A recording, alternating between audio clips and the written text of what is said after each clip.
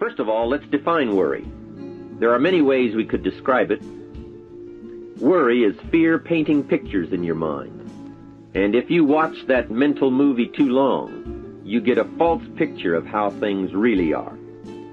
Worry is a mental broadcasting station, and more often than not, it is false or at least distorted propaganda. Worry has that sneaky way of stopping short of giving you all the facts. Worry is often the trickery of mentally filtered facts on the negative side and the bold declaration that these are all the facts. Worry has the mental audacity to suggest that the elevator only runs one way, down. Many times worry is a five-alarm bell for a wastebasket fire. And worry is a depletion of constructive emotion. It's wasted mental energy. It's like letting the starter run the battery down when the car won't start. And worry is most often a lack of all the facts, a lack of full understanding, a lack of total information, and an unpreparedness of ability, knowledge, talent, courage, faith, and all the other virtues.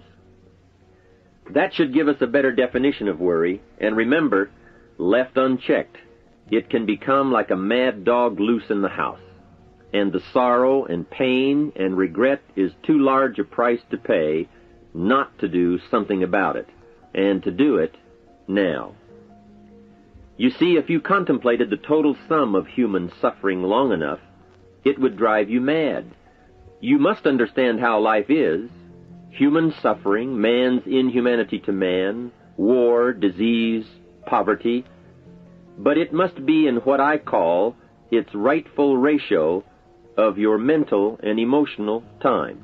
So much for what worry is. The next question is, what can I do about it? What is the first step? My best advice on this is to first recognize worry for what it is, admit what it does, and then decide you now want to be free. It first starts with decision on your part. And may I add, well, you should decide. Why let worry continue to take money out of your pocket and bank account? Why let worry any longer keep you from becoming all you can be? Why let it rob you of better friendships, better business, better profits, better results, better communication, better family relations? Why impose your worry on others any longer? It's a burden you can get rid of and a monkey you can get off your back. Why not be rid of those sinking, nagging feelings that all is not going to be well, that you can't do it, that it won't work out for the best? Worry is undue concern that takes up too much of your mental and emotional time. Now we must all be concerned. Hey, life is no joke except to the jokers. Life and how to live it is a serious matter. It is risky, full of peril, and there are constant threats to the good we want and to the pursuit of happiness. However, it is undue concern, or concern that takes up too much mental time, that begins the harm. It's like a family planning a wonderful trip. While they certainly should be concerned about the condition of the car, the tires, and making sure they pick the proper route, it would be foolish to allow themselves to be completely turned negative with the thought that they might crash and kill the entire family. If that were the case, even if they went, the entire trip would be turned into one nightmare of fear with the specter of chaos looming around every curve, rather than enjoying the wonderful trip they had planned for themselves and their family. A lot of people do that with their entire life. So, start to make these declarations. And if you mean it, they will start you on your way to confidence and adventure free of the worry habit. Say first, I've had it with worry. I'm tired of being beaten down and hassled with all those negative mental pictures. I refuse to be tricked by false facts. I'm really not that weak.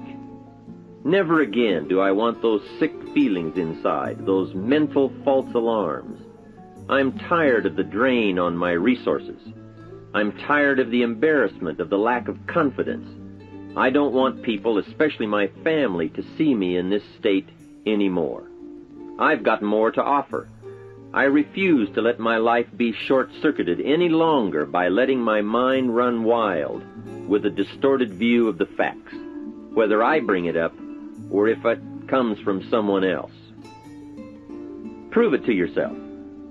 Think back over all the things that you worried about, all the fantastic, catastrophic events that your well-meaning advisors had told you were going to happen. Be pleased that none of them ever happened to you, or else you would not be alive today. 90% of the things you worry about never happen anyway. All of us have had these well-meaning advisors who want to appear larger in the eyes of those they wish to advise, and who immediately rear back and describe every single bad option they can think of that might possibly happen. By the time they have finished, the one who has come for some confidence and some help wonders why he even bothers to live anymore. And the fact is, those things are never really going to happen anyway. Bring to question now what your mind tells you or what others tell you, and pledge not to go for false alarms. I've had it is a good beginning. This first step will start you arguing with your worry thoughts. Soon you will start to examine your fears and worries to see if they are valid, and you won't let your mind play those mental tricks any longer. It is possible to destroy any emotion you have, including worry and fear, by a very simple process, and that is, analyze it to death. Drag it out on the table and look at it. Weigh it against all of your past experiences. Make sure this one can stand against all the past facts you have.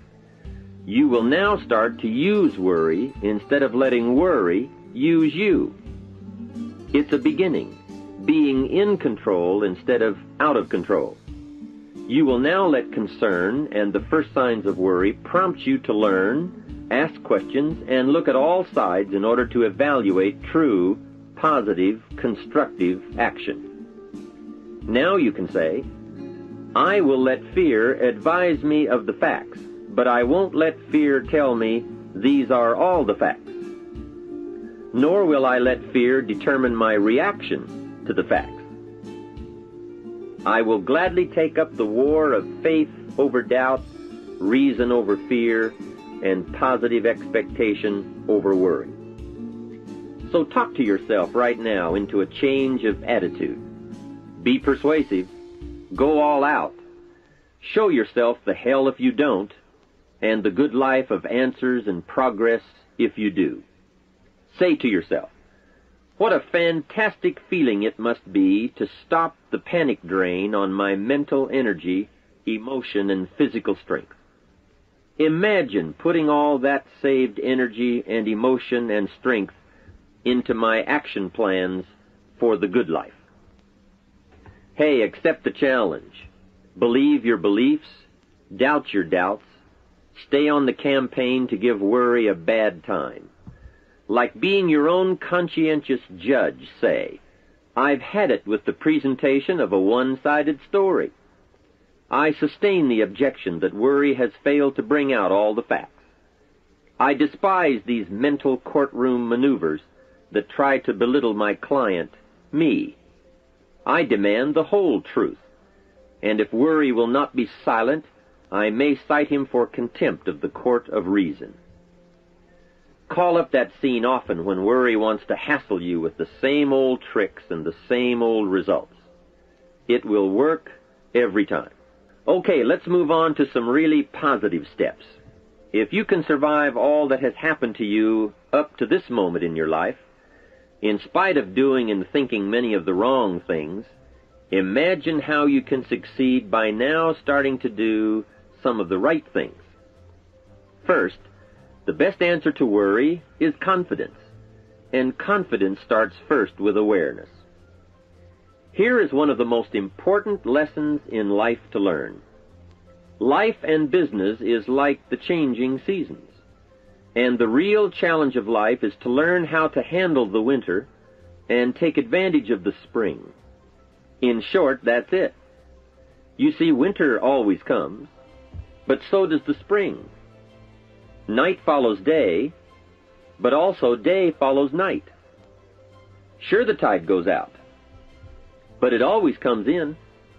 Opportunity follows difficulty as surely as difficulty follows opportunity. I have written and recorded much on how to take advantage of the spring, how to cash in on life's opportunities, work hard all summer, learn more ways to plant and protect what you invest, and to reap in the fall without complaint, knowing it's your harvest and you've reaped what you've sown. For this subject, however, let's talk about how to handle the winters. Those times when worry, like winter, takes its heavy toll. So, we tell it like it is. Winter always comes. So does the night. Some happenings in our life will always be a cause for concern. And sometimes concern turns to worry, and worry turns to fear. But remember, that is to be expected.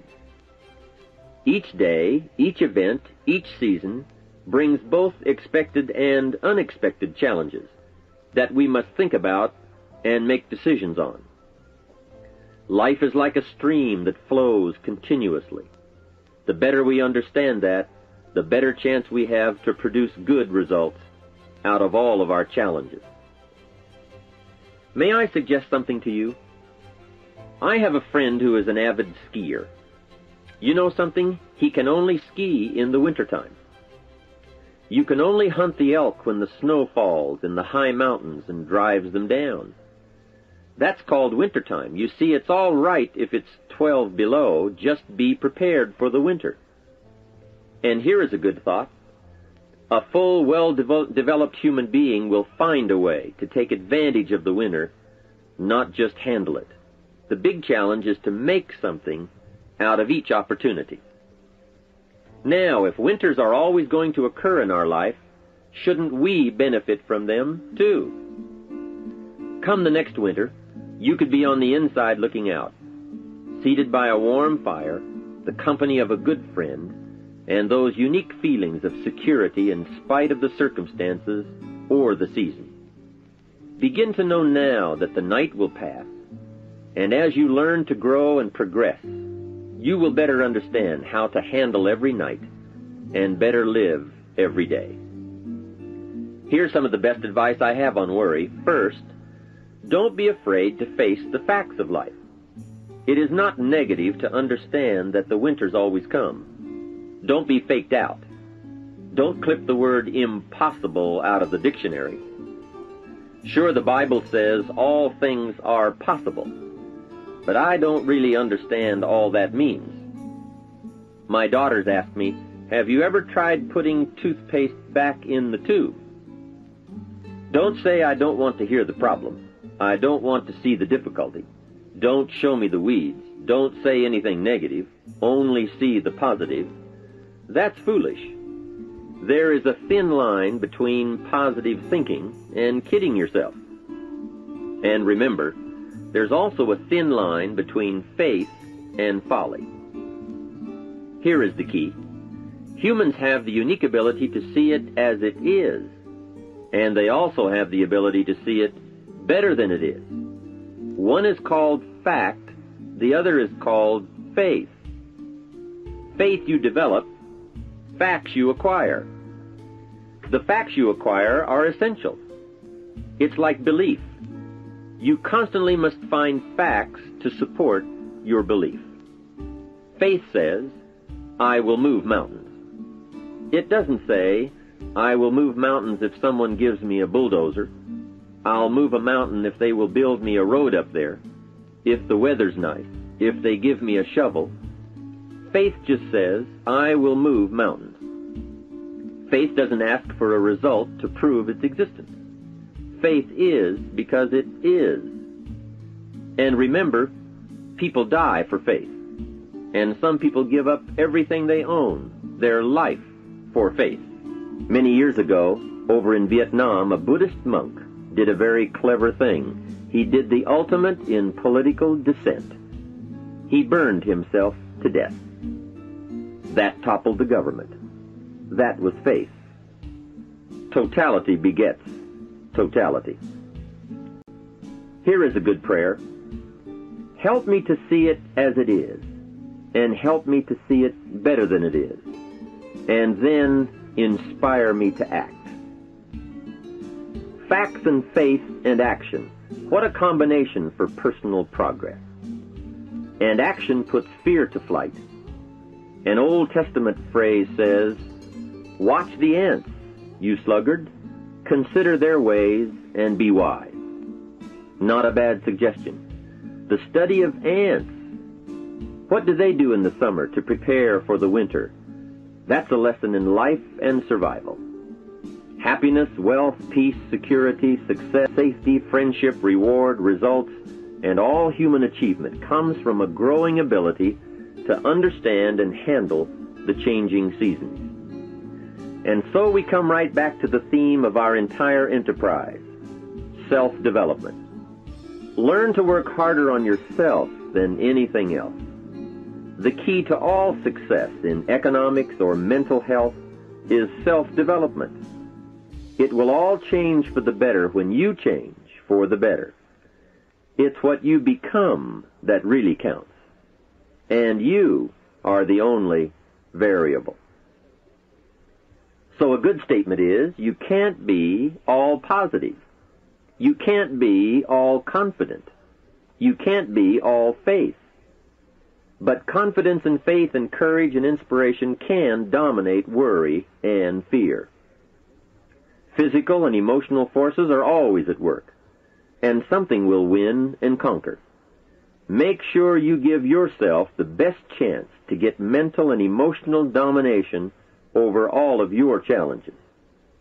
And here is one of the master keys to the good life. Developing the intelligence and accepting the challenge of putting all of your emotional experience into their rightful ratio. Beginning this progress can bring about the most dramatic changes. You see, disappointment is like winter. It always comes. It is foolish to say, don't be disappointed. But you must learn to discipline your disappointment. If it dominates 51% of your time, you're in trouble.